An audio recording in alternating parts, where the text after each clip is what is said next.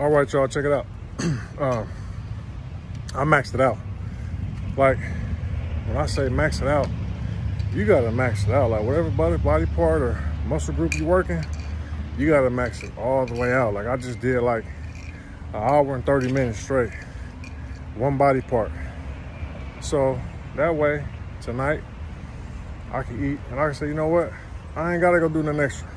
I maxed him out. If I take a day off, I can't worry about it because I maxed him out. Like I say, some days you're not gonna be able to go. So that's why every time you get a chance to, you cut corners, every time.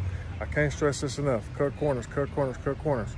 So if you ever can't cut a corner, you so far ahead, it don't even really matter. And if, if you notice everything I'm telling y'all, it's the same shit. It ain't nothing new. I don't know nothing different than anybody else do.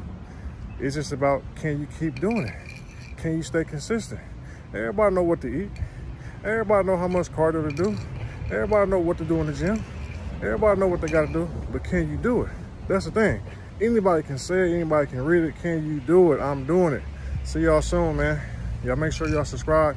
I'll motivate y'all every day. And like I say, I ain't just talking. I'm leading by example. Let's get it.